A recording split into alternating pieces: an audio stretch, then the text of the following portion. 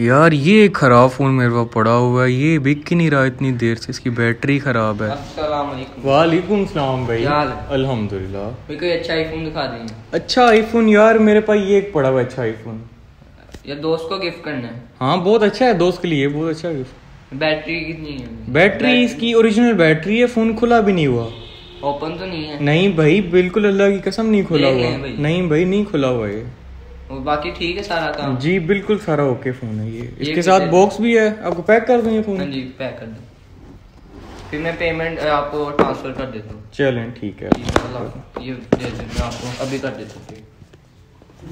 हाँ ये तो अच्छा हो गया यार। खराब फ़ोन था कसम खा के बेच दिया।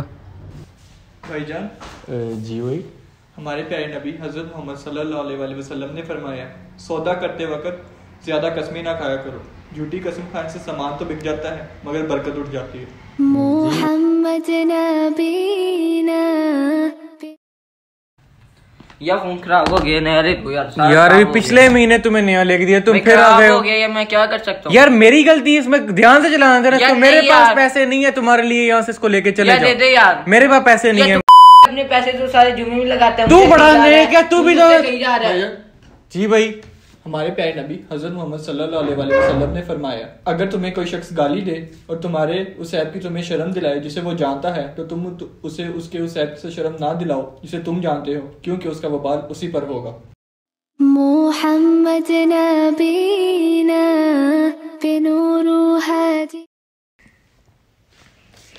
क्या हो गया भाई? इतने परेशान क्यों बैठे हो? भाई क्या बताऊँ यार तुम्हें मैं? यार मैं जिस काम में मेहनत करता हूँ वो हो ही नहीं रहा। जैसा मैं चाहता हूँ वैसा नहीं वो काम हो रहा है यार। कुछ भी नहीं हो रहा है इस दुनिया से यार। बहुत मायूस हो गया हूँ मैं। यार अल्लाह ताला ने कुरान पाक में फरमाया है, क्या हो गया है? कैसी तजवीज़ें करते हो? क्या तुम्हारे पास कोई किताब है जिसमें ये लिखा है कि जो तुम चाहोगे वो तुमको ज़रूर मिलेगा? या तुमने हमसे कोई कस्में ले रखी हैं जो क़यामत के दिन तक जाएँगी कि जो तुम चाहोगे वही तुम्हें मिलेगा? जी भाई। Oh Allah the Almighty, Allahu Allah.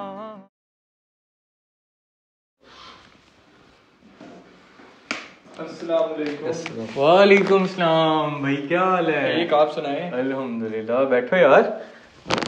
आपने मिलना नहीं था? भाई बस यार इसी में लड़ाई हुई है। कब से?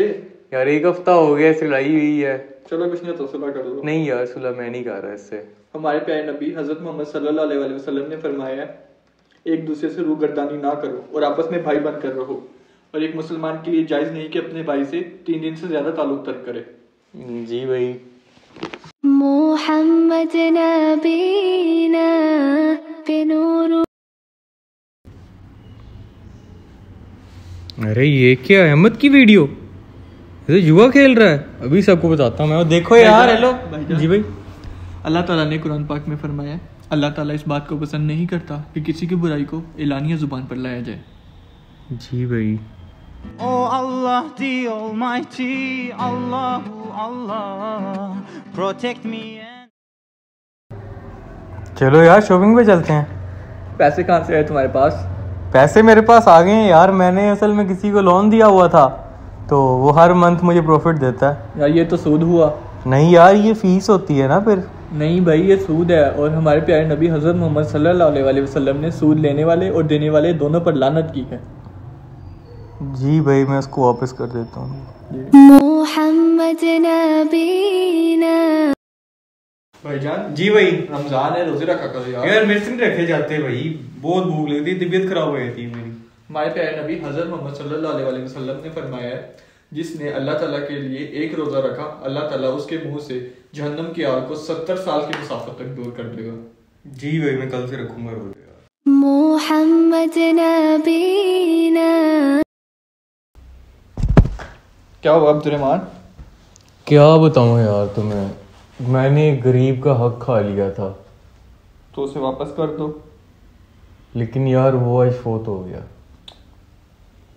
तो कुछ नहीं होता आप उसका जो था उसके किसी घर वाले को दे दो और अल्लाह ताला से तौबा कर लो। पता नहीं अल्लाह ताला मेरी तौबा कबूल करेंगे भी नहीं। अल्लाह ताला ने कुरान पाक में फरमाया अल्लाह उनकी तौबा कबूल फरमाता है जो नादानी से बुरी हरकत कर बैठते हैं और फिर जल्द तोबा कर लेते हैं। अल्लाह ताला ऐसे लोगों पर तवज्जो फरमाता है और अल्लाह ताला खूब जानने वाला है। जी भाई मैं वापस करता हूँ उनको। Oh Allah the Almighty. यार ये तूने फेसबुक पे नाम क्या रख लिया है? मैडी? यार हाँ यार मुझे अपना नाम नहीं पसंद था। बहुत लंबा था अब्दुल रहमान तो मैंने अपना नाम चेंज कर लिया मैडी हमारे प्यारे नबी हज़रत मोहम्मद सल्लल्लाहु वसल्लम ने फरमाया तुम्हारे नामों में से अल्लाह ताला के नज़दीक सबसे ज़्यादा पसंदीदा नाम अब्दुल्ला और अब्दुलरहमान है। जी भाई मैं चेंज करता हूँ यार। मोहम्मद नबीना। हम्म, क्या हुआ? ये देखो यार। लबनान ने इसराइल पे रॉकेट अटैक किया। इसराइल इनका पूरा मुल्क ही तबाह कर दिया। हम पाकिस्तानी सही हैं यार एटलीस्ट आराम से तो बैठे हुए हैं।